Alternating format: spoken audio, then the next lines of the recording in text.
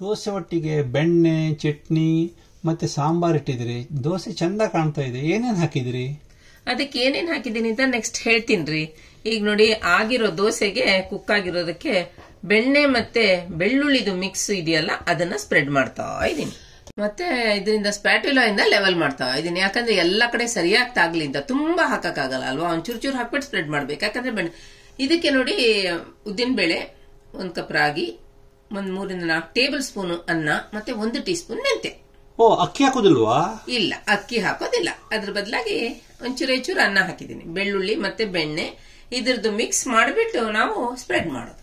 ಈಗ two third cup ಉದ್ದಿನ ಬೇಳೆನ ಒಂದು ಬೌಲ್ಗೆ ಹಾಕೊಳ್ಳಿ.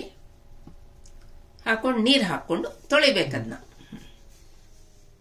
ಒಂದೆರಡು ಸತಿ ತೊಳೆದ್ಬಿಟ್ಟು ಕ್ಲೀನ್ ನೀರು ಬರೋ ತನಕ ತೊಳಿಬೇಕು. ಆಮೇಲಿಂದ ನೀರು ಹಾಕೊಂಡು ನೆನೆಸ್ಬೇಕದ್ನ ಮೂರು ಗಂಟೆ ಕಾಲ ನೆನೆಸಿದ್ರೆ ಆಯ್ತು.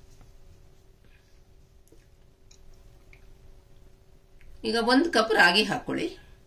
ಅದರಲ್ಲಂತೂ, ಅದನ್ನಂತೂ ಮೂರ್ನಾಲ್ಕು ಸತಿ ತೊಳೆದ್ರೂ ನಡೆಯುತ್ತೆ. ನೀರು ಹಾಕೊಳ್ಳಿ ಈಗ. ಮತ್ತೆ ಒಂದು ಮೂರ್ನಾಲ್ಕು ಸತಿ ತೊಳ್ಕೊಳ್ಳಿ.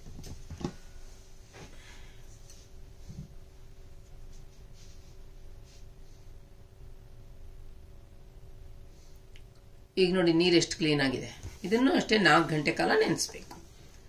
ಈಗ ಉದ್ದಿನ ಬೆಳೆನ ನೀರೆಲ್ಲ ಬಸ್ದ್ಬಿಟ್ಟು ಬ್ಲೆಂಡರ್ ಬೌಲ್ಗೆ ಹಾಕೊಳ್ಳಿ ಮೆಂತ್ಯ ಕಾಳು ಹಾಕೊಳ್ಳಿ ನೆನೆಸಿದ್ದು. ಅದನ್ನ ಮಾತ್ರ ಆರು ಗಂಟೆ ನೆನೆಸ್ಬೇಕು ಯಾಕಂದ್ರೆ ಅದು ನೆನೆಯೋದಿಲ್ಲ ಬೇಗ. ನೀವು ಮುಷ್ರ ಮುಚ್ಚಿಬಿಟ್ರಿ ಅನ್ ಇದೆಲ್ಲ ಹಾಕೋದಿಲ್ಲ ಅನ್ನ ಮತ್ತೆ ರಾಗಿನಾ? ಹೌದು.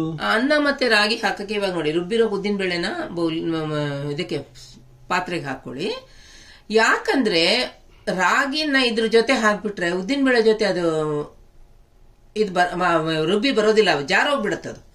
ಅದಕ್ಕೆ ನಾನು ಅನ್ನ ಫಸ್ಟ್ ಹಾಕೊಂಡು ಸ್ವಲ್ಪ ಸ್ವಲ್ಪ ನೀರು ಹಾಕೊಂಡು ಅದನ್ನ ನೈಸಾಗಿ ರುಬ್ಬಿಟ್ಟು, ಅದ ಕಂಟಿರೋದ್ರಿಂದ ಅದ್ರ ಜೊತೆ ರಾಗಿ ಹಾಕಿ ರುಬ್ತಾ ಇದ್ದೀನಿ. ಹಾಗಾದ್ರೆ ನಾಲ್ಕು ಒಟ್ಟಿಗೆ ಹಾಕಿ ಇದು- ರುಬ್ಬಾರ್ದು ಅಲ್ವಾ ಇಲ್ಲ ಇಲ್ಲ. ರಾಗಿ ರಾಗಿ ಮತ್ತೆ ಉದ್ದಿನ ಬೇಳೆ ಅದೆಲ್ಲ ಒಟ್ಟಿಗೆ ಹಾಕ್ಬಿಟ್ರೆ ರಾಗಿ ಫೈನ್ ಆಗಿ ಬರೋದೇ ಇಲ್ಲ.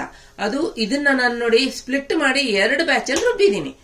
ನೋಡಿ ಹಾಕ್ತಾ ಇದ್ದೀನಿ ಈಗ. ಉದ್ದಿನ ಬೇಳೆ ಹಿಟ್ಟಿದೆಯಲ್ಲ ಉದ್ದಿನ ಹಿಟ್ಟು ಅದಕ್ಕೆ ಮಿಕ್ಸ್ ಮಾಡ್ತಾ ಇದ್ದೀನಿ. ರುಚಿಗೆ ತಕ್ಕಷ್ಟು ಉಪ್ಪು ಹಾಕೊಳ್ಳಿ ನೀವು ಉಪ್ಪು ಈಗಲೇ ಹಾಕ್ಬಿಡ್ತೀರಾ? ಓ ಇಲ್ಲಿ ಸ್ವಲ್ಪ ಕೂಲ್ ಆಗಿದೆ ಟೆಂಪರೇಚರು ಉಪ್ಪು ಹುದುಗ ಹುದುಗ್ ಬರಕ್ಕೆ ಹೆಲ್ಪ್ ಮಾಡುತ್ತೆ. ಅದಕ್ಕೋಸ್ಕರ ನಾನು ಉಪ್ಪನ್ನ ಇವಾಗಲೇ ಹಾಕ್ಬಿಟ್ಟಿದ್ದೀನಿ. ಸ್ವಲ್ಪ ಟೆಂಪರೇಚರ್ ಜಾಸ್ತಿ ಇರೋ ಪ್ಲೇಸ್ನಲ್ಲಿ ಫಾರ್ ಎಕ್ಸಾಂಪಲ್ ಮಣಿಪಾಲ್ ಉಡುಪಿ ಅಂತ ಕಡೆ ಅದು ನೀವು ನಾಳೆ ಬೆಳಿಗ್ಗೆ ಹಾಕೋಬಹುದು ಈಗ ಲಿಡ್ ಕ್ಲೋಸ್ ಮಾಡ್ಬಿಟ್ಟು ಒಂಬತ್ತು ಗಂಟೆ ಅದನ್ನ ಫರ್ಮೆಂಟ್ ಆಗ್ಲಿ ಬಿಡ್ಬೇಕು ನೋಡಿ. ಎಷ್ಟು ಚೆನ್ನಾಗಿ ಫರ್ಮೆಂಟ್ ಆಗಿಬಿಟ್ಟಿದೆ ನೋಡಿ.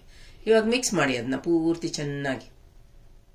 ಸಾಕು ನೀರ್ ಗೀರ್ ಹಾಕೋದ್ ಬೇಡ ಕನ್ಸಿಸ್ಟೆನ್ಸಿ ಕರೆಕ್ಟ್ ಆಗಿದೆ ನೋಡಿ. ಈಗ ಬೆಳ್ಳುಳ್ಳಿ ಇದೆಯಲ್ಲ, ಅದನ್ನ ಈ ಮಿನ್ಸರ್ ಸಿಗತ್ತೆ. ಅದ್ರಲ್ಲಿ ಹಾಕ್ಬಿಟ್ಟು ಮಿನ್ಸ್ ಮಾಡಿದ್ದೀನಿ ನೋಡಿ, ತೋರಿಸ್ತಾ ಇದ್ದೀನಿ ಈಗ. ತುಂಬಾ ಚೆನ್ನಾಗಿ ಮಿನ್ಸ್ ಆಗಿ ಬರುತ್ತೆ ಇದು. ಅಮೆಝಾನ್ ಅಲ್ಲಿ ಸಿಗುತ್ತೆ. ಇದನ್ನ ಬೌಲ್ಗೆ ಹಾಕೋಬೇಕೀಗ. ಹಾಗೆ ಮೂರು ಟೇಬಲ್ ಸ್ಪೂನ್ ಬೆಣ್ಣೆ ಇದೆ ಅಲ್ಲಿ. ಆ ಬೆಣ್ಣೆಗೆ ಈ ಎರಡರಿಂದ ಮೂರು ಟೇಬಲ್ ಸ್ಪೂನ್ ಇದೆ ಇದನ್ನು. ಅದಕ್ಕೆ ಹಾಕೊಂಡು ಚೆನ್ನಾಗಿ ಮಿಕ್ಸ್ ಮಾಡಬೇಕು. ಕ್ರೀಮಿ ಆಗೋ ತನಕ. ಒಂದ್ ನಿಮಿಷ. ನಮ್ ತಾಯಿ ಇದನ್ನೆಲ್ಲ ಮಾಡ್ತಿರ್ಲಿಲ್ಲ. ಯಾಕಂದ್ರೆ ಬೆಣ್ಣೆಗೆ ಬೆಳ್ಳುಳ್ಳಿಗೆಲ್ಲ ಮಿಕ್ಸ್ ಮಾಡೋದು, ಅವರಿಗೆಲ್ಲ ಅದು ಈಗ ಚಟ್ನಿ ಮಾಡೋಣ. ಯಾಕಂದ್ರೆ ದೋಸೆಗೆ ಚಟ್ನಿ ಬೇಕೇ ಬೇಕಲ್ವಾ ನಮ್ಗೆ? ಅರ್ಧ ಕಪ್ಪು ಕಾಯಿ ತುರಿ ಹಾಕೊಳ್ಳಿ ಬ್ಲೆಂಡರ್ ಬೌಲ್ಗೆ. ಹಾಗೆ ಮೂರು ಟೇಬಲ್ ಸ್ಪೂನು ಹುರ್ಗಡ್ಲೆ ಹಾಕೊಳ್ಳಿ. ಫ್ರೈಡ್ ಗ್ರಾಮು ಹುರ್ಗಡ್ಲೆ ಅಂತಾರಲ್ಲ?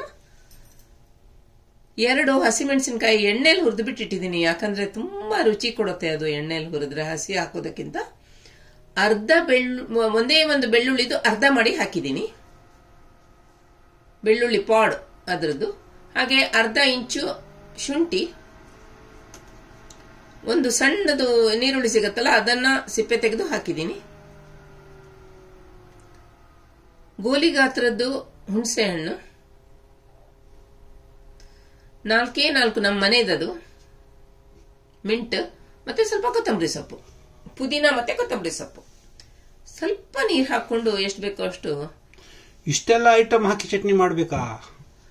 ಅದು ಏನ್ ಗೊತ್ತಾ ನಮ್ದು ಮಿಂಟು ಮತ್ತೆ ಕೊತ್ತಂಬರಿ ಸೊಪ್ಪು ಎಲ್ಲ ಇಷ್ಟು ಹಾಕೋದು ಯಾಕೆ ಅಂತಂದ್ರೆ ರಾಗಿಗೆ ಎಷ್ಟಂದ್ರೂ ರುಚಿ ಇಲ್ಲ ಅಲ್ವಾ?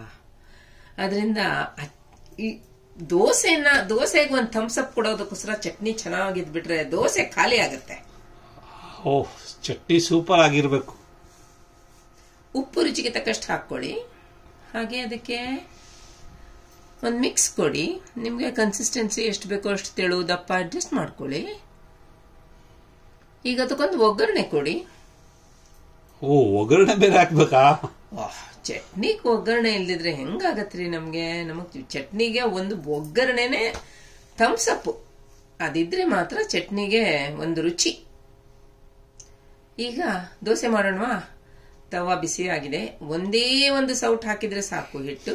ನಿಮ್ಗೆ ಎಷ್ಟು ತೆಳು ಆಗುತ್ತೋ ಅಷ್ಟು ತೆಳು ಸ್ಪ್ರೆಡ್ ಮಾಡಿ. ನೀವು ಇದು ನಿರ್ಲಿಪ್ ಇದನ್ನ ಅಂತದ್ರಲ್ಲಿ ಹಾಕಿದ್ರಲ್ಲ. ನಮ್ಮ ಬೀಡಿಂದು ಬಿಡದ ಇದ ದೋಸೆ ಕಾವಲಿನ. ಅದು ಏನಾಗ್ತದೆ? ತುಂಬಾ ಚೆನ್ನಾಗಿ ಬರುತ್ತೆ ಬಟ್ ಇಲ್ಲಿ ನಂಗೆ ಇದ್ರದ್ದು ಗ್ಯಾಸ್ ಪ್ರಾಬ್ಲಮ್ ಇದೆ. ಮಧ್ಯದಲ್ಲಿ ಅದು ಬರ್ನಿಂಗ್ ಆಗಲ್ಲ. ಸೈಡ್ ಅಲ್ಲಿ ಬರ್ನ್ ಆಗುತ್ತೆ ಇದೇನಾಗುತ್ತೆ ಹೀಟ್ ಇದ್ರಲ್ಲಿ ಬೇಗ ಡಿಸ್ಟ್ರಿಬ್ಯೂಟ್ ಆಗುತ್ತೆ.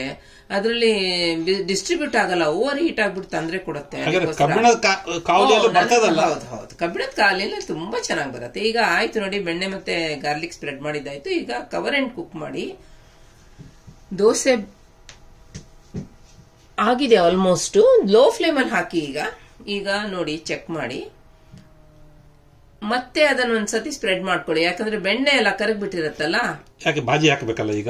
ಇಲ್ಲ ಬಾಜಿ ಹಾಕಲ್ಲ ಇದಕ್ಕೆ. ಇದಕ್ಕೆ ಯಾಕೆ ಬಾಜಿ ಹಾಕೋದಿಲ್ಲ ಅಂತಂದ್ರೆ ದೋಸೆ ತುಂಬಾ ತೆಳು ಅಲ್ವಾ? ಬಾಜಿ ಒಳಗಡೆ ಇಟ್ಬಿಟ್ರೆ ಏನಾಗುತ್ತೆ ಅಂದ್ರೆ ದೋಸೆ ಮೆತ್ತಗಾಗ್ಬಿಡತ್ತೆ ಇದು ಕ್ರಿಸ್ಪಿ ಕಮ್ ಸಾಫ್ಟ್ ಹಂಗಿದು.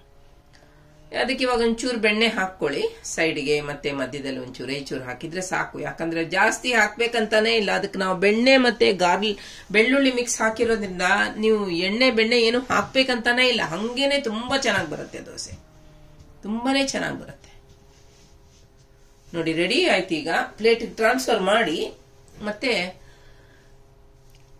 ಈಗ ಎಮ್ಮಿ, ರಾಗಿ ಗಾರ್ಲಿಕ್ ಇದು ದೋಸೆ ರೆಡಿ ಆಯ್ತು. ನನ್ನ ಚಾನಲ್ ದಯಮಾಡಿ ಸಬ್ಸ್ಕ್ರೈಬ್ ಮಾಡಿ ಎಲ್ಲರಿಗೆ ನಮಸ್ಕಾರ.